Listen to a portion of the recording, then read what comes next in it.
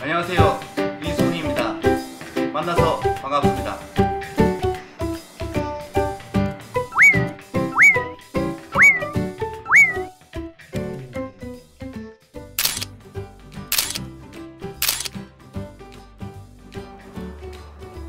안녕하세요. 유이브라스 박태현입니다. 만나서 반갑습니다.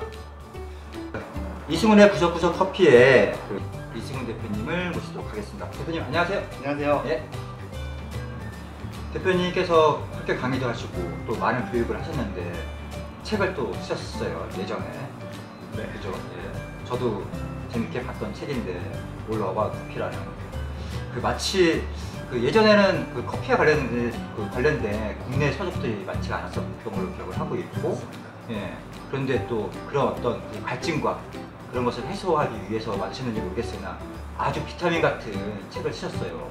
그, 그 책에 대한 저도 기억이 많이 나기도 하고 그런데 그 책을 쓰시게 된 동기 같은 것이 있었나요?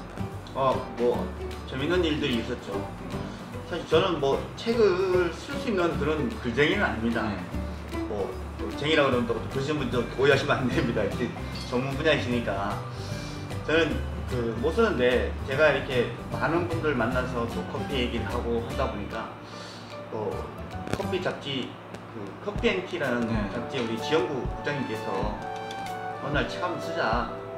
근데 저는 책을 못 씁니다. 그 국장님께서 어, 녹음기를 줄 테니까 녹음을 해라. 아 녹음을 하면 쓰지 말고 글을 쓸게. 어 예. 근데 막상 수업 시간에 수업을 하겠는데 마이크를 잡으면 우리 또 울렁증이 있어서 말이 안 나옵니다. 그러다 어느 날 뭐 사석에서 어, 소다들 먹으면서 하다 보니까 어느 정도 술을 먹다 보니까 또 우리 지영 국장님께서 책 한번 써. 현직 국장님이시죠? 네. 그래서 그냥 그럴까요? 그것이 계기 돼가지고 한 1년 8개월 동안 고생을 많이 했습니다. 어, 두 분이 서로가 다 후회했습니다. 저는 원고 넘기는데 1년 8개월 동안 연재를 했습니다. 컵벤티에. 네. 저는 원고 쓰는데 고통을 받았고 또 우리 지영국 국장님은 저의 언어가 또 국문학적인 언어는 아니니까. 그분은 또 그걸 다시 언어 순환을 시키는데 굉장히 힘들었는데 어쨌거나 저는 이 올로바 에스프레소라는 책이 나오고 나서 수많은 사람들한테 이것이 FM이다 라는 게 아니라 이것은 이승훈의 커피 인생이다라는 걸 좀 보여주고 싶었던 내용들입니다.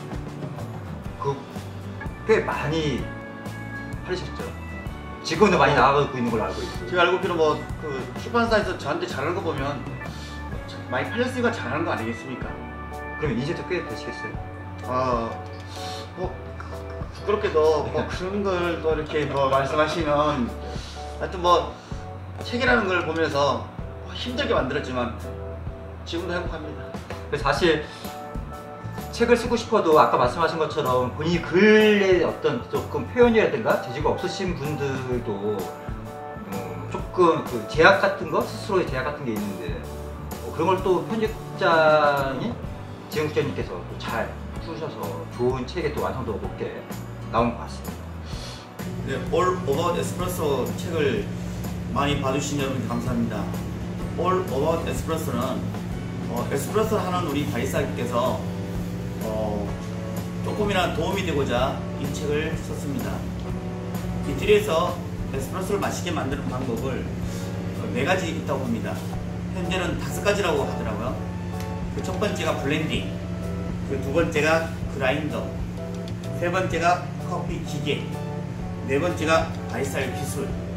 요즘은 하나 더 있다면 마케팅까지 해서 바로 올로버 에스프레소는 이 에스프레소를 맛있게 만들기 위해서 바리스타가 가장 기본이 되는 에스프레소 추출에 있어서 다섯 가지의 조건을 완성했을 때 완전한 에스프레소가 되기 때문에 이런 부분에서 좀 더 도움이 되고자 All About 에스프레소를 저술하게 되었습니다.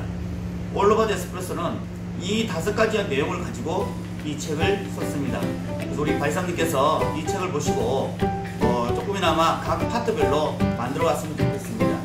좋은 바리스타는 좋은 태도를 가져야 됩니다. 좋은 태도를 가지기 위해서는 많은 지식이 필요합니다. 그 많은 지식을 이 All About 에스프레소 통해서 많이 쌓았으면 좋겠습니다. 그런 다음에 그것을 기술로 승화시킨다면 아닐까